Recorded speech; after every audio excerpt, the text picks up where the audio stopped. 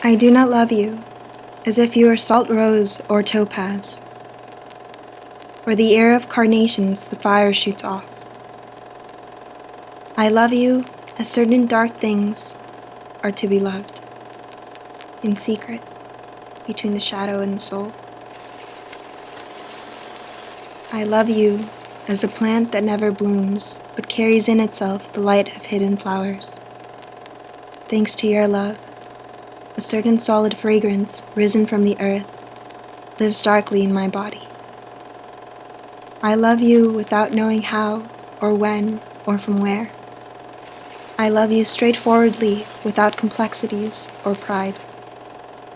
So I love you because I know no other way than this, where I does not exist, nor you, so close that your hand on my chest is my hand so close that your eyes close as I fall asleep.